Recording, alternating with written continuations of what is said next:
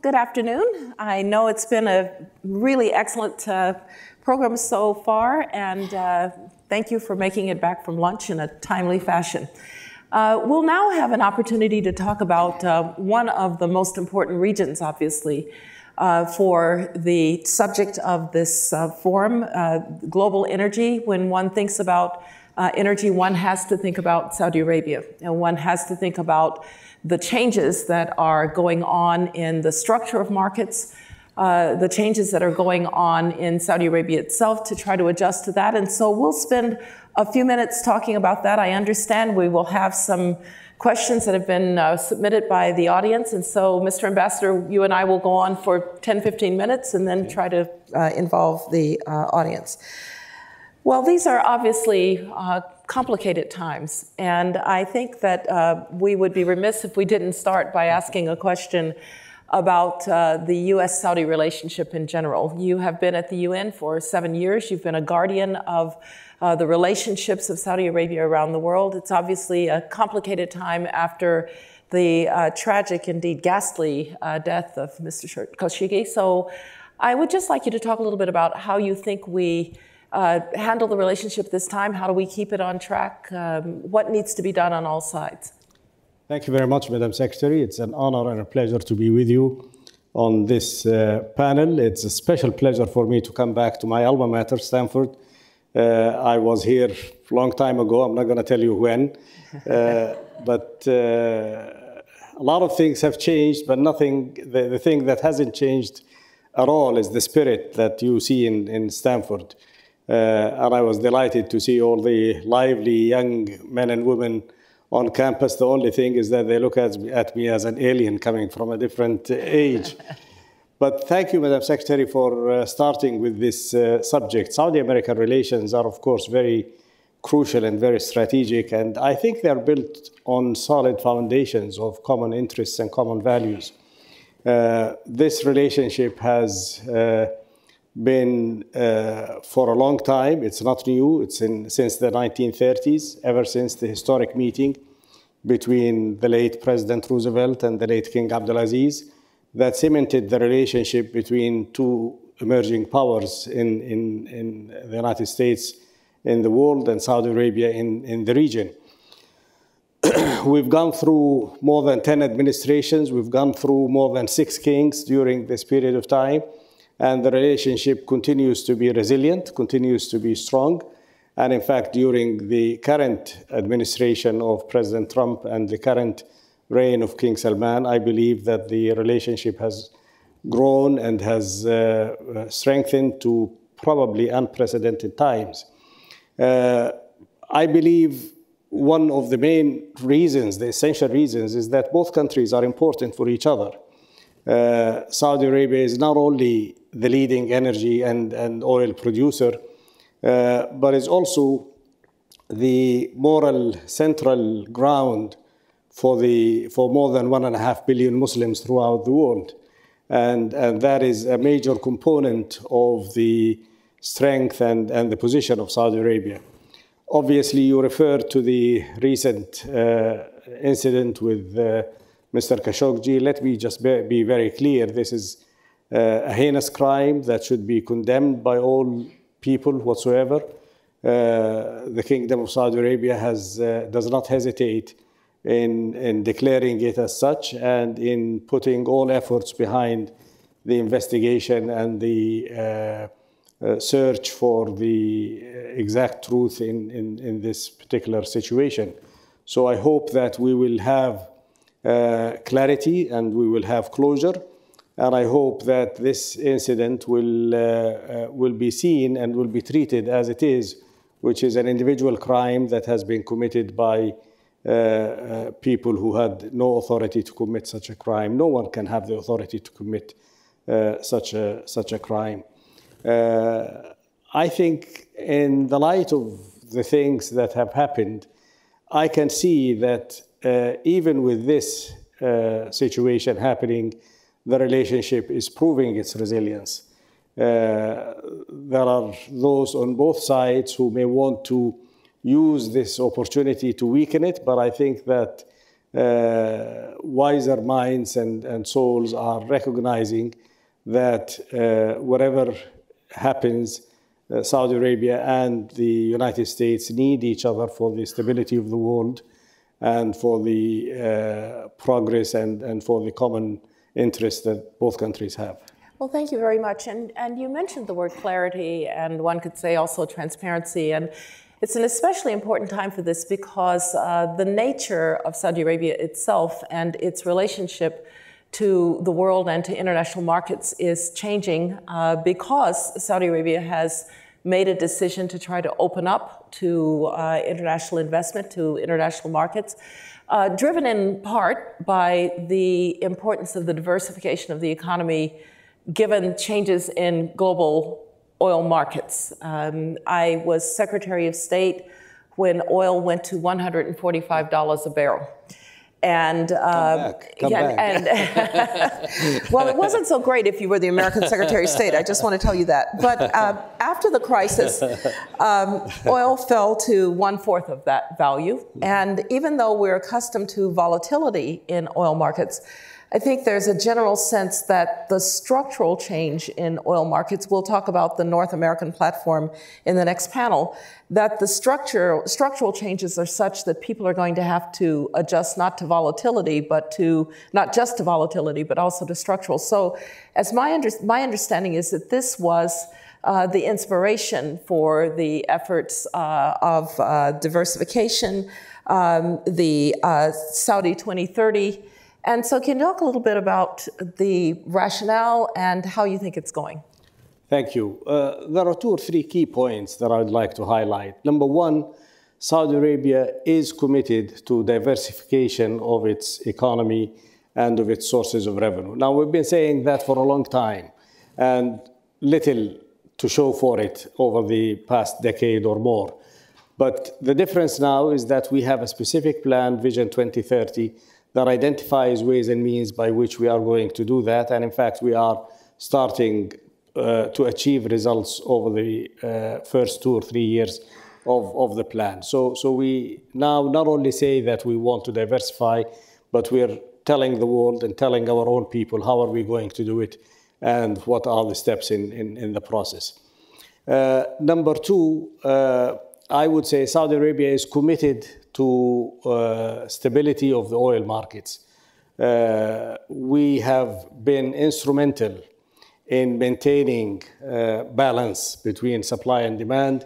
We have been instrumental in, in trying to moderate prices and keep them at, at a reasonable level or within a reasonable range.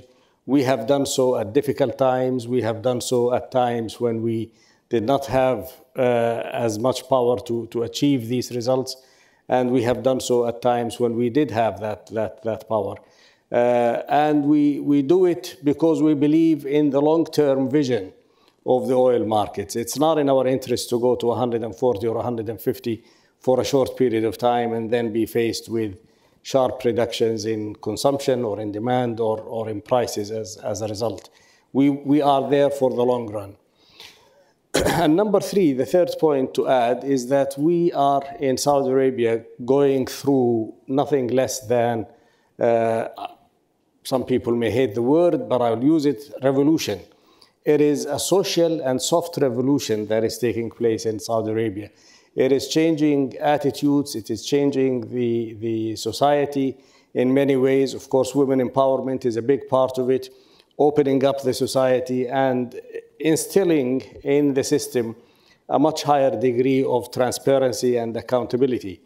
And I think with those elements, we are able to attract and encourage uh, international participants. So, so this is, I believe, these are the three major factors in the new era that Saudi Arabia is going through at the moment. Well, thank you. In, in fact, uh, one of the hard things in governing, because you were right, I was in Saudi Arabia in Riyadh last December, I had an opportunity to meet with uh, the Crown Prince for an extended period of time and to listen to his uh, views about reform. It's quite obvious when you're in Saudi Arabia that young people are energized by the reform in ways that I think uh, we've not seen in a long time. But every governing body, every governing structure has to balance short term interests, short term economic growth with a longer term horizon, uh, that transition can be very, very difficult. And it's especially difficult if you're going from a state run economy, essentially, since oil was such a, a, big part of the Saudi economy, to one that is going to be more dependent on markets and on uh, the efforts of uh, to bring in foreign investments. So, uh, will Saudi Arabia be patient enough to make the transition this time? Because I think that one of the reasons that uh, those efforts that you talked about before didn't really come to fruition was that uh, when the price of oil was up, uh, it was easy to forget about the reforms. when the price of, of oil was down, people talked about diversification, and then price of oil was up again, and the efforts of diversification were laid aside. And so, how do you think about the short term, long term balance here? You, you, are exactly right in, in your description. And the reason that that has happened is because we did not have a long term plan. Uh, the difference today is that A, we have a long term plan. B, we have the determination of the leadership to stick to the plan, even though it might be painful. And indeed, it has been painful over the past one or two years with the increase in price of energy, uh, of electricity, of gas, and everything for the uh, people in, in, in Saudi Arabia. But we have seen the results. The results is that our own consumption of oil has declined by almost a third as a result of introducing uh, market factors and, and proper pricing. And, and that process is, is, is proceeding. So we, we have leadership that is now looking over the long horizon, over the long term, uh, as opposed to facing the immediate pressures uh, that may arise from, from here or there. And I think we've demonstrated that over the past two or three years. We've gone through some of the most difficult adjustments, and we still have some more adjustments to go through. Uh, but I, I, think we will, we will show the, the way for uh, a process of transformation that is genuinely taking place. How do we think about Saudi Aramco in that context? Uh, because there was a lot of um, uh, energy behind the possibility of an IPO. A lot of markets were out, a lot of exchanges were out there bidding to be the one that got Saudi Aramco. And then uh, it clearly slowed. And um, there is a little bit of a danger in sometimes getting out ahead uh, of with an announcement like that and then realizing that the transition is going to be somewhat slower. So how do how should we think about Saudi Aramco in this context? Well, uh, the IPO of Saudi of Saudi Aramco or parts of a part of Saudi Aramco would have been a very important step and a very major step. And it is not unusual for such steps to be fraught with uh, caution, with, with uh, even risks uh, at times, and to be uh, exercised with, with a fair degree of, uh, of care and attention. And I think that's what's happening. I think there was also a need for more public debate inside Saudi Arabia about uh, the IPO of Aramco. There are philosophical issues as to whether you should sell part of the future resources of, of, of uh, the coming generations or whether you're actually securing those uh, generations with alternative investments and possibilities. That's a lively debate that is taking place in Saudi Arabia and that probably needed time alongside the time that was needed for the technical preparations and so forth. Uh, I think the uh, Crown Prince is still committed to the concept of privatizing Aramco. He believes that having the uh, uh, private sector involved in the ownership and leadership of Aramco is going to make it more transparent, is going to make it more efficient, uh, and so forth. And I think that these objectives are, are still valid. Uh, the question of the timing is something where uh, a certain degree of flexibility may have to be exercised. Well, if indeed uh, the idea was to jumpstart uh, greater innovation, uh, greater openness to technologies that would come from the outside, are there things that can be done in the meantime uh, to attract uh, investment? Um, because the investment brings with it a certain innovation and, and technological progress. And how do you think about technology in this? Well, Aramco is already a leading power in, uh, in many of the uh, technology areas that, that need to be done. We spoke this morning, the speakers talked about CO2 storage and capture, capture and storage, and so forth. And I think that Aramco is one of the leading powers in research and development and investment behind that process. Uh, you may have noticed that in the past couple of years or three years, the Ministry of Petroleum and Mineral Resources have been transformed to become the Ministry of Energy. Uh, and therefore, it expanded the role of uh, uh, energy and, and the role of the ministry from looking after oil uh, alone to, to looking at the whole uh, sector. And that involves nuclear, it involves solar, it involves uh, wind energy, and, and so forth. And the investments that are lined up behind those alternative sources of energy, the more renewable sources of energy, uh, are, are tremendous. And Aramco is a leading uh, power within, within that uh, direction. Aramco is likely to take over a major share in the national uh, petrochemical industry giant, SABIC. Uh, and that will mean that Aramco will also be integrated not only in the energy sector and, and renewable energies, but also in the petrochemical sector, and will make it more along the lines of the Exxons of the world and, and others who have made such a transformation in, in, in the past. So Aramco is heavily involved in, in that process. Uh, it is being supported by research institutions within Saudi Arabia and outside Saudi Arabia. And uh, I think you will see that there will be uh, a great deal of uh, uh, desire on the part of the technology holders to, to work with Aramco, co invest in Saudi Arabia, outside Saudi Arabia, and help build and develop the necessary technologies. Uh, absolutely. Uh, on the technology side, I would completely agree. I was a Chevron director. Um, mm. My first trip to Saudi Arabia was actually as a Chevron director. As you know, Standard Oil was really the first uh, of the American companies to have those relationships. And so, obviously, a leader on the technological side. Uh, the question that some in Saudi Arabia itself uh, have, have asked is about the human uh, potential side. In other words, uh, the training and skills that uh, Saudi, the Saudi population might need uh, to really take advantage of these new frontiers, and uh, whether or not there are actually uh, Im- impacts on the educational system and uh, how people are trained. So, and, and by the way, not trained just at the highest levels, but trained down through the population. Well, I have to concede that education is one of our uh, most important challenges in, in Saudi Arabia. And this is a subject that is not limited to Aramco. Aramco has excellent training programs and they, they develop their own human resources uh, needs uh, very effectively.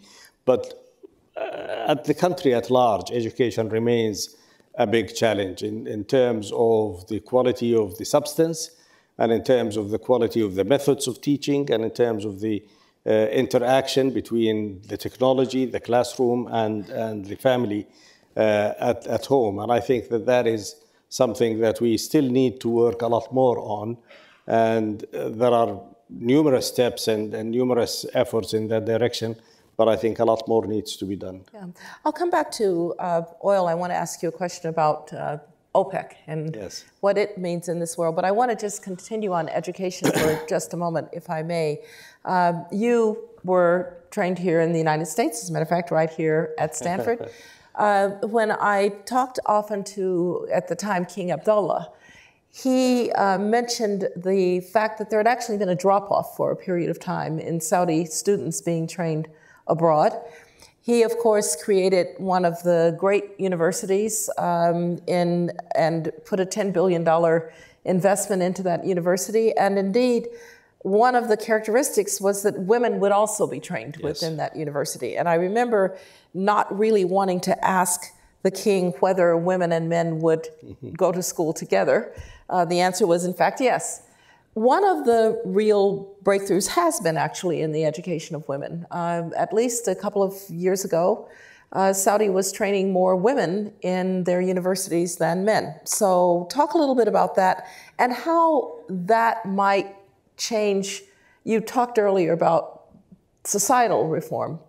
Um, I do remember saying to people that Saudi was going to be on a bit of a high wire if you wanted to educate that many women and give them no voice.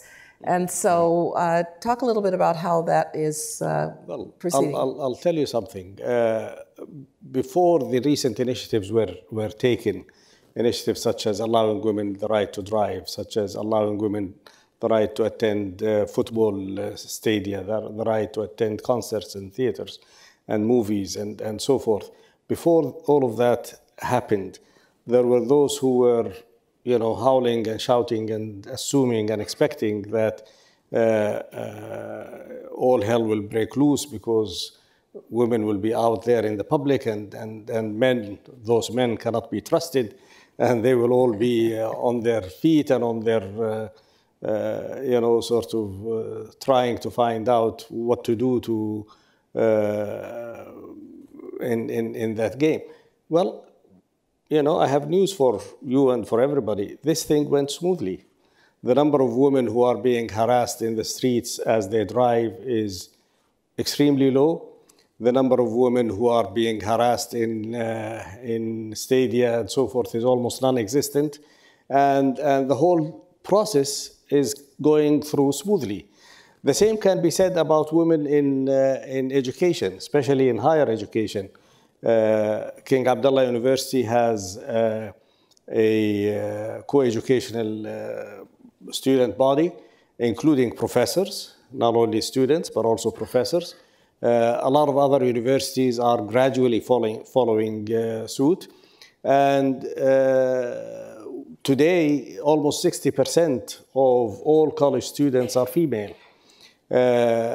The other part is you talked about the King Abdullah Scholarship Program. Today in the United States, there are probably around 100,000 Saudi students who are on, on scholarship programs from the Saudi government, 30% of whom are, are, are women. Now, the next challenge is, is going to provide job opportunities for all the women who come uh, from abroad or who graduate from the local universities. And I think that that is going to be an important step, and it's going to have significant social impact because men will become much more used to working with women, encountering women in the workplace, and women will have an opportunity to demonstrate, uh, of course, their abilities and contributions to society. Thank you. Uh, we'll go back now to a couple of questions about international oil markets and uh, if you do have questions, please submit them and uh, we will take them up with the ambassador. But uh, there are four letters that strike fear into the hearts of oil importers OPEC. um, I remember when I was a teenager, um, I think I was a teenager, maybe truthfully, I was already 20 or so. but um, at the, the time of the um, oil shock in the uh, 19, early 1970s, when what happened in the Middle East brought very much to the American uh, service station, to the American family, a sense of what could happen when uh, oil became a political weapon, so to speak. Um, that's the OPEC that still many people remember. How should we think about OPEC today? How should we think about the various members of it? Um, is it a, it's obviously a different organization than at that time, but how well, different? It is, it is a different organization for a variety of reasons. Number one, the political landscape is different. And number two, the percentage of oil that comes from OPEC countries has declined substantially with the rise of production in the United States and elsewhere. And number three, the relative strength of the players within OPEC has, has also become very different. You have in OPEC those who have uh, small uh, inventories of oil, small reservoirs, and as such, and, and, and tremendous financial needs, and therefore for them, the objective is to hike the price as high as possible. You have those like Saudi Arabia who have a much longer term vision of, of the uh, markets. Uh, for the last 40 years or so, Saudi Arabia has played a moderating role, a responsible role, uh, a very constructive role in keeping OPEC within certain uh, parameters that, that meet the requirements uh, and the interests of the OPEC members, as well as take into consideration the interests of the consumers and, and the international community. And as long as that is the case, then I think there will be little or no reason for concern. Uh, as I said, there are others who may have different interests. Iran, in particular, has a different approach, uh, not only to OPEC, but also to the region as a whole. And, and that is why Saudi Arabia and the United States are working together to try to contain Iran uh, as much as possible and to reduce the impact of, of their policies. And Russia? well, uh, Russia has played a constructive role in the last few years. It has joined Saudi Arabia in trying to maintain a reasonable balance. Uh, Russia also has a large production and, and significant reserves, and therefore I think it's in their interest to, to play the market uh, positively and constructively. And so you would say. And Russia is not a member of OPEC. No, no, but the relationship with OPEC yes. is what I'm really asking yes. about. No, the, but the question, and you're telling us that if you look at what states will do in the oil markets in terms of policy, look not at their politics and their international or foreign policy, but look at where they sit uh, in terms of their own oil reserves, their own position in the international system. Is that, is that going too far? Is that uh, the no, right think, way to think I think it? I think that's a key, a key consideration. Of course, some may be driven by ideology, some may be driven by political desires to achieve certain objectives. I'm talking here particularly about Iran, uh, where the policies may not necessarily reflect economic sense or economic reason. But by and large, I think that economic sense and reason would, would prevail. And in, in many cases, the relative influence of Saudi Arabia within, within OPEC would make it prevail. Let me ask you um, two final questions that are kind of more broad political questions. Um, one has to do, and you've touched on it, uh, the politics of the region and Iran. Uh, we know it's a very complicated time in the politics of the region uh, with the war in Yemen and uh, the uh, divorce, I guess I should call it, from Qatar. Um, how should we think about, when, when we think about uh, the Middle East and oil markets, people want to know what should we think about the stability of the region? Um, how should we think about the stability of the region at a time when the world is still very dependent on uh, the Middle East for oil. Uh, it, uh, we'll talk about North America, which is obviously uh, a huge player, but the world still needs uh, Middle Eastern oil. How should we think about the stability? In Islam, divorce is a three stage process, and we've only gone through one stage with Qatar, so we still have two stages more to, to bring things together. And I think and I hope that that will be the case at some point of time. But there are two major destabilizing forces in the region. One is the Israeli Palestinian conflict. And as long as that conflict uh, is maintained and as long as it does not find a, a, reasonable solution, a fair and just and comprehensive solution that meets the aspirations of the Palestinian people and that provides Israel with the security it needs. As long as that does not take place, we will continue to have uh, a reason for instability in, in, in the region. And to that extent, I hope that the United States will continue to exercise its influence as much as possible uh, to try to bring such a solution uh, uh, to reality. The second is the expansionist, the ideological, hegemonic uh, uh, policies uh, that Iran is trying to, to drive through. And if you look at the region, if you look at Saudi Arabia, Iran is trying to actually encircle Saudi Arabia, going through Iraq and Syria and Lebanon in the north, and now coming through Yemen in, in, in the south. This process needs to be defeated, and, and we are uh, working very hard to, to, to achieve that, especially in Yemen, where uh, uh, we cannot accept the presence of another Hezbollah on our southern, southern border. Uh, and I think that the majority of the Yemeni people do not want a return to the dark ages of a theological, theocratic uh, government in Yemen along the lines of Iran. Iran have never produced a model of government that is appealing to the masses. They, they appeal to emotions, they appeal to extremists, they appeal to their own uh, interests sometimes, but they have never been able to, to provide the Middle East with a model of leadership, of development, of uh, uh uh, welfare for the people, etc.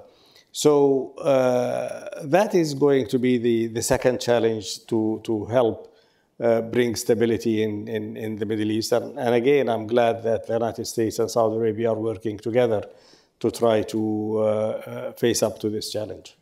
So, final question. You have gathered before you uh, a, a, quite uh, expansive and, and eminent group of people who follow energy, who are part of the future of energy. The Stanford Energy Forum is really dedicated to understanding the entire energy uh, landscape. what would you say to this audience in closing about where, at the end of 2030, one would think Saudi Arabia should be? What is the aspiration and uh, what is the challenge to getting there? Well, we certainly hope, I certainly hope, as a Saudi citizen, that by 2030 or even before that, that we would have Saudi Arabia as a modern country, as an open country, as a country that has a diversified economy, as a country that is a beacon of knowledge and civilization to the region, to the entire world uh, a country that, that attracts uh, tourists and investors, a country that uh, exports different types of energy, not only oil and gas, but also solar and, and, and others. Uh, and a country that can continue to be and will, will continue to be a reliable partner in, in uh, maintaining peace and stability and, and economic prosperity for all. Thank you very much. Thank you. Please join me in thanking the ambassador for his. Thank you. Thank you very much.